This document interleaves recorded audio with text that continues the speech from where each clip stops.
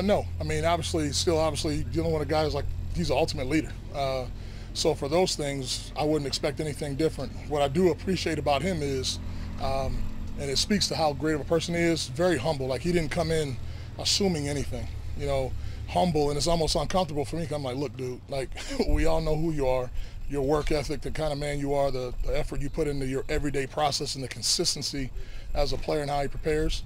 Uh, but for him, he just wants to work and still earn it even with new teammates. For me, that's beyond admirable.